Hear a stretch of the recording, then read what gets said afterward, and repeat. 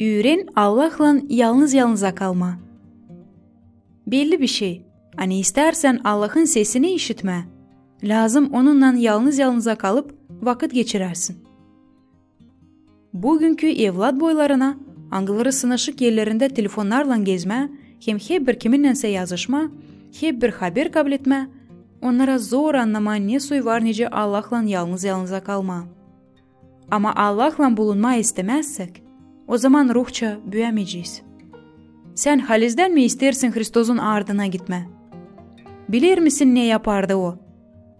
Gidermiş çöl yerlere, da dua edermiş. Kalkarmış bayra, da yalnızca dua edermiş. Ruh yenseyişleri gelir bize ağır güreşlerden sonra. Angılarını Allah'la bile geçirdik. O sana gösterecek hem açıklayacak planları angılarını hazırladı senin yaşamana dini. Açan dolayı da hiç kimse olmayacak. Ne çünkü o ister, sen daha çok olarsın ona bağlı, ne kadar insanlara.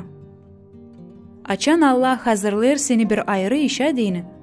O zaman sıra gelir sen geçirersin vakıdını ayrı insanlardan. Çıkış kağıdında Allah demiş.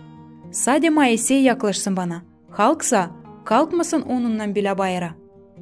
Açan İlya kalkmış yalnızca bayırlar arasında Allah demiş. Çık da dur benim yönümde. Bu yüzden açan Allah çığırır seni. Öğren hepsini neye öğredir. Da büyü ruhça.